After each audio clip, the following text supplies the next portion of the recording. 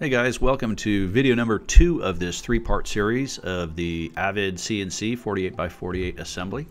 We're starting off with the linear rails for the y-axis which get mounted on the left and right side. Here you see me just dropping the bolts into place and using the T-nuts uh, and putting them on with the uh, screwdriver, the uh, power screwdriver. It's nice and easy when you can just go down the line and secure them that way and then just assemble them into the top rail, um, sliding them on one by one. Fairly straightforward.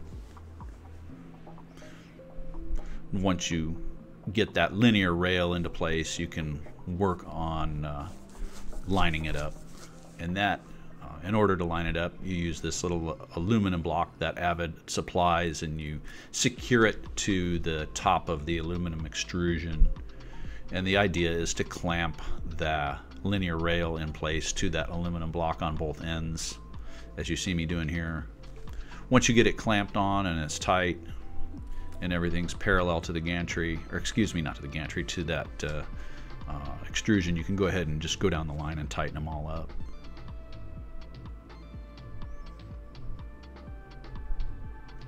After you get the linear rail in place, go ahead and get the uh, roll the, the uh, T-nuts and the uh, bolts in the gear track installed and slide that in place on the lower portion of the extrusion rail as you see me doing here. That doesn't get uh, aligned with that uh, aluminum jig. It just gets uh, put in place with a specific measurement. I think it's like four inches in from the front of the extrusion. And then once you get it in place, just go ahead and tighten that down. And you'll repeat that step on both sides. Obviously, I'm only showing one side. Uh, the next step is preparing your linear bearing blocks, and that's just pulling them out of their packaging and orienting the uh, grease zerks to the outside. Uh, Avid calls for a very specific orientation that these bearing blocks need to be installed on, so just make sure you follow the written instruction written instructions, excuse me, when you do that. I found that these little Zerks were a little finicky putting them on, but with a little patience I got them. Once you slide them on the rail, that little black interior piece is going to slide out. And you will find that it uh, is going to be a little rough sliding it on the rail. That's to be expected once you get them greased up and they get moving under load with the gantry, it they seem to function just fine. And I've heard that from other people that they're a little rough going on at first. After you get your linear bearing blocks on, just go ahead and secure the plastic dust covers with the uh, T-nuts and uh, screws. And there's two of these uh, dust covers per side, a short one and a long one, and they just meet up on the top portion of the extrusion.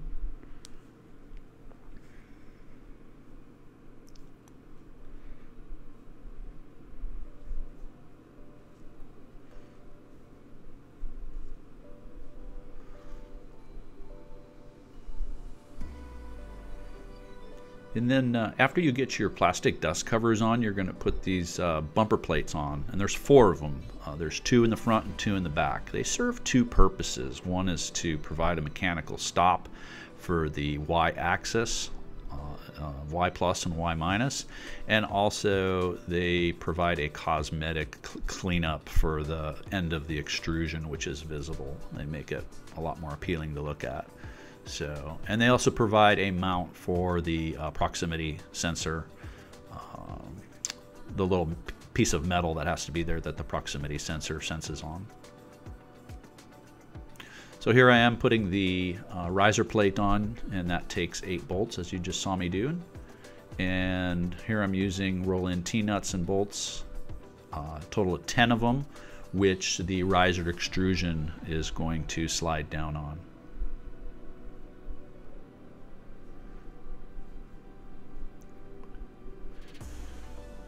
So you can see the configuration of those little T-nuts. They're all pointing down. That's the way they're going to want to be installed, with the exception of those bottom two. Uh, as you slide that riser extension down, you're going to want to get underneath that with your hands and flip those two up, as you'll see later. Here I am just putting uh, the I think it's called a riser plate, uh, on top of the uh, riser extrusion. And that's what the actual gantry is going to sit on. So here I am sliding it on those T-nuts like I was just saying I men mentioned a minute ago and just get underneath it with your fingers and flip those bottom two up around the other side so they're not visible from the bottom. And go ahead and tighten them up.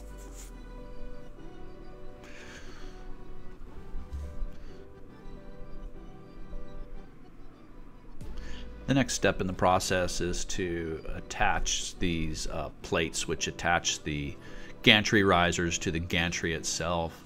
If you notice there's six bolts on the lower portion of this plate and eight bolts, or excuse me, holes in the uh, upper portion of this.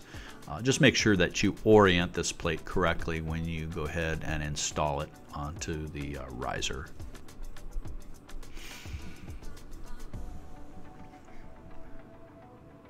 The next step in the assembly process is placing uh, an end cap on the uh, left side of the gantry. So you're looking at the left side of the gantry, but you're looking at it from the back side here. So I end up off camera putting it actually on, onto the machine itself. Just make sure that this end plate is oriented correctly. There's two holes on the bottom which are slightly offset from center and it's critical that you pay attention to what you're doing otherwise you're not going to be able to screw the uh, the gantry onto the uh, the and the riser plate itself.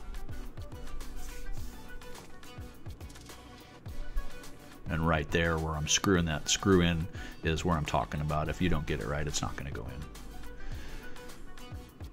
So then go ahead and secure your gantry on the left side and on the back. You're looking at it from the back uh, in this view right here. Uh, just go ahead and screw, put your bolts into those T-nuts that are already in position behind the red plate and uh, go ahead and tighten it down.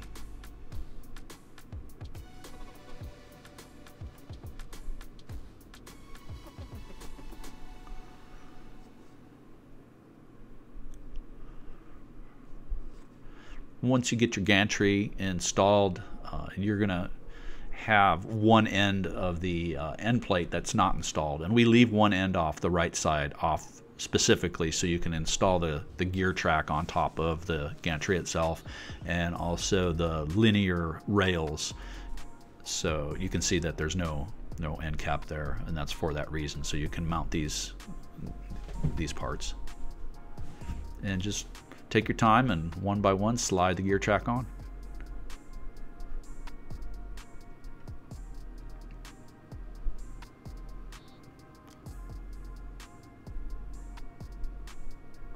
Position your gear track accordingly. It's like 70 millimeters. Not sure the exact spec. It's in the instructions. Then go ahead and uh, drop your bolts in your linear rails, which will get mounted to the gantry, and then secure the T-nuts on the bottom. And here you can do, see me doing that with my uh, uh, cordless drill. Goes real quick.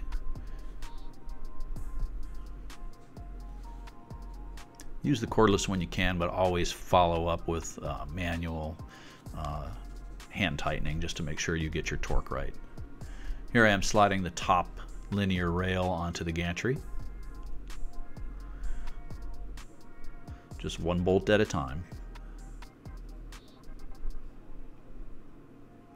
When you install this, this top linear rail, you're going to end up reusing that aluminum block that Avid provides to align it to the uh, gantry itself and make sure it's uh, parallel. The lower linear rail is aligned with the actual Z-axis mounting plate.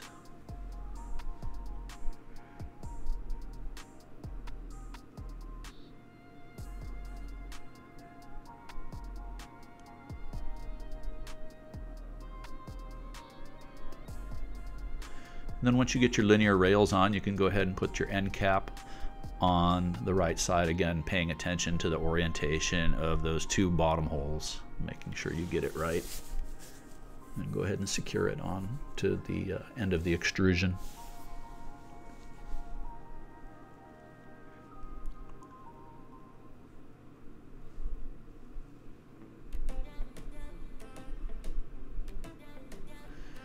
Then the next step is securing the uh, back of the gantry on the right side. You're looking at it from the back uh, with those uh, bolts again.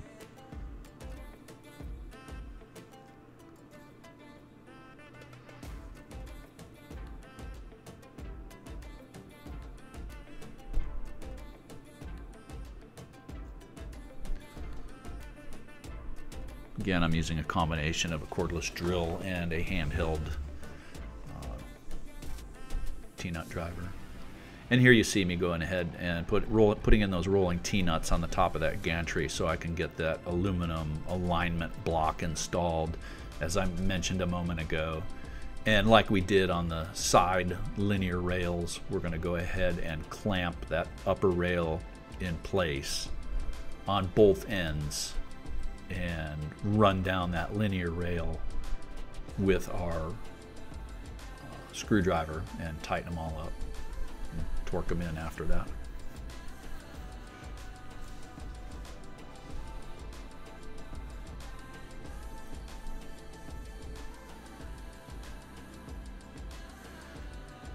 Once you get that top rail installed, you can go ahead and remove your clamps, remove your alignment blocks, and uh, work on installing your linear bearing blocks on those two rails.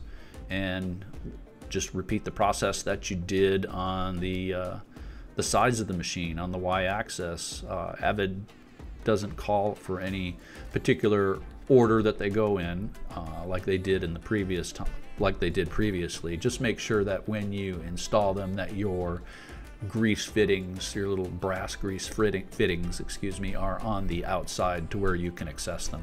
Access them.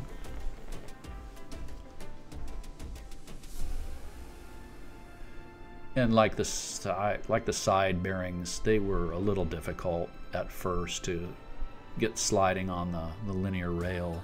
They just seemed like they didn't want to move so much as, or easily and freely. But I just greased them up. I put about three, three or four pumps of grease in each block, and that seemed to uh, help a little bit. And then when I got the uh, Z-axis plate on, that helped even more.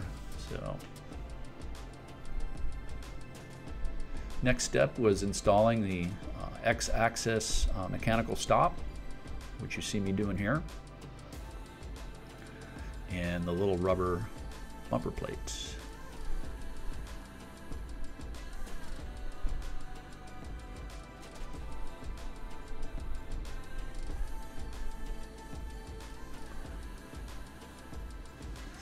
This is the little, uh, I'm putting in two of these roll-in T-nuts on the back side of the gantry.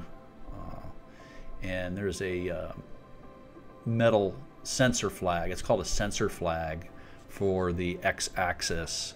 Uh, so when the proximity sensor comes by, it, it, it'll pick up on that metal piece and it'll know when to stop.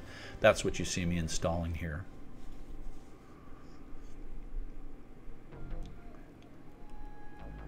And again, there's a specific measurement, just pay attention to your instructions. Okay, here I am installing the Z-axis mounting plate. This is what your spindle is going to mount to. And there's uh, 16 bolts which hold this in place on those uh, four bearing blocks. And I'm kind of going fast forwarding the video uh, but I wanted to show all 16 bolts that are used because there are a number of holes on this plate itself. So just make sure you use the, the correct holes when you mount this plate. And you can see the two big holes at top. That's for uh, uh, where your motor mounts to. So once you get that installed, you can slide it over to the left side and start tightening down the bolts. And Avid's instructions are pretty uh, informative as to how you go about and complete this process. So just pay attention to, to what they say and how, how it's done. It's fairly straightforward. And this top plate, I'm inserting the locating pins on each side and that's going to go in on the top of the uh, z-axis plate just like you see here and I'm going to go ahead and secure that in place and screw it in with those uh, with two uh, larger bolts into those two holes. If you like this video, please subscribe to my channel and stay tuned for video number three, folks, because that's coming up. And that's the final video showing all the wiring, electronics, and spindle mounting. Thanks again.